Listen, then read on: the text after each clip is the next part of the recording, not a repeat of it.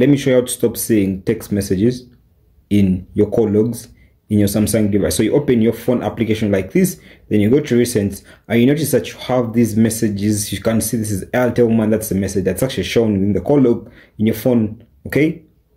Okay, you see that Airtel Man, then you come see here, you see Airtel Man, that means all the messages probably are going to be showing up right here. So you're going to make sure that you want to stop that from happening. Just watch the video until the end and you know, if you're fan of phone tech tips, tricks, be sure to subscribe to our YouTube channel and join the family. So do the following: open your phone application now. First, go to your recent right here. Then tap the three dots right here. Okay.